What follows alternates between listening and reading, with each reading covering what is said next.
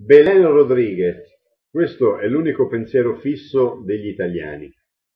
Intanto ci sono esodati, l'informazione non ci ascolta, siamo in mano ad agenzie interinali ed è questo il nostro futuro. Io dico che allora il futuro non c'è.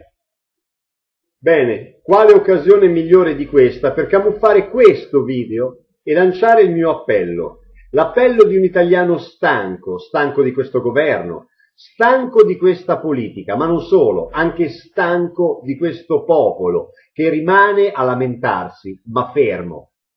Questa è la realtà. Siete un popolo fermo, che è complice di questa dittatura, è complice di questa corruzione. Bene, fate girare questo video e ascoltate bene un italiano che si è rotto i coglioni. Se non sei parte della soluzione, allora sei parte del problema.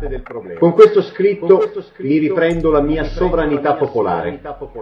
È vero, viviamo in un regime europeo. ed è altrettanto vero però che parte del popolo è stato complice, ma i vari governi, compresi quelli italiani, sono solo pedine e marionette usate per sottomettere i popoli.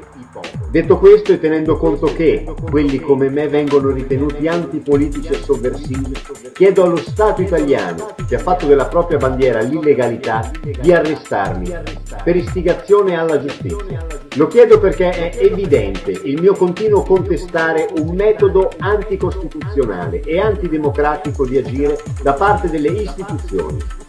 Per non parlare poi dell'informazione deviante che ascolta solo assassini e politici corrotti.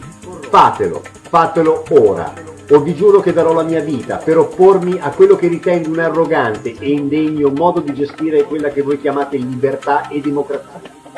Io sono strumento per un reale cambiamento. Potete bloccarmi, ma io sento, vedo e parlo. E voi soccomberete davanti alla forza di un solo uomo. In fede, Mauro Merlino, un cittadino italiano.